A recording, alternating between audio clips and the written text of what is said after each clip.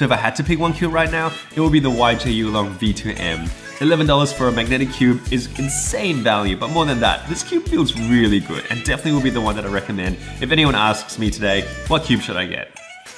And that's that. See ya! I first decided to get this sort of out of curiosity because it, it is the cheapest magnetic cube on the market. And I was like, well, how good, you know, can a cube be for $11? Um, and it is amazing. Like I can pretty much get my normal times um, on this cube.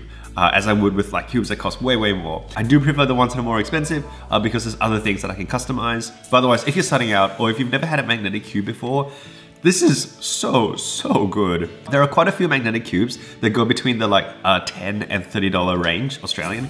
Um, this is, like I said, the cheapest one. And to me, it blows all of the others out, out of the water. But finally, our worth it winner, no copyright infringement intended, uh, would hands down have to be the YJ Yulong version 2 magnetic. This thing is $11 Australian. I mean, yeah, maybe it has a bit of a cheaper feel to it.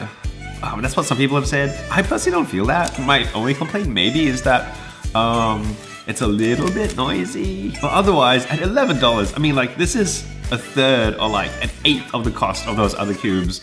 It is crazy, crazy good value for money. It's got really nice colors, fairly decent internals, um, and yeah, it just doesn't feel like it would be an $11 cube. Alright, stepping down to the second tier, this cube has now been out for a few years, and because um, so many cubes are like entering the market like on a monthly basis, this one's sort of considered old now, but it's really still amazing, and it is the Moyu GTS 2M. The 3M is currently out. Um, it is a stickerless cube with like ridges, but it costs a little bit more, uh, and the Moyu GTS 2M is just incredible value for money. You can get it at the moment for about 33 Australian dollars. And as I said, despite the fact that it's been out for a few years, it is still such a nice cube. It's really reliable. A lot of people, a lot of pro cubers actually still use this cube. So that's the Moyu GTS 2M. Uh, would probably be my second rec recommendation if you want to spend around 30 bucks. So let's start with the expensive and then work our way down. For those of you um, who like money is not an issue at all, which is probably like no one, um, like if you've got money to burn and you're happy to just like spend, um, I would recommend, I guess, like premium um, puzzles, premium cubes, uh, and you probably can look no further than like uh, GAN cubes. I have to say that this is a like objectively everyone finds these cubes most amazing. It's literally like if you ask me what cubes I think you should get. This is my main, this is the one that I use. This one I think is like 79 Australian dollars. And you can get cheaper ones, it's the GAN Air SM uh, and the GAN uh, 354M, which is a smaller cube. Uh, all magnetic cubes that will go for maybe like, you know, 60 or $50. But you get what you pay for. I mean, it's a pleasure to turn. Every time I get to do a solve in this cube, it's just like pure joy. I absolutely love it. Um, yeah. I would say these are the ones to get if you've got money to spend. Ah! What is wrong with this?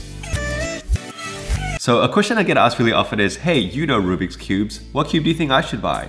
And despite the fact that I get asked this a lot, I actually don't mind answering that question because it's a fun question to ask. So I've decided to make a video about it, uh, predominantly aimed at people who are getting into cubing or maybe thinking about upgrading. So I have chosen three cubes which I will reveal to you very shortly at three different price points uh, based on what you're looking for. And these are just ones that I really recommend.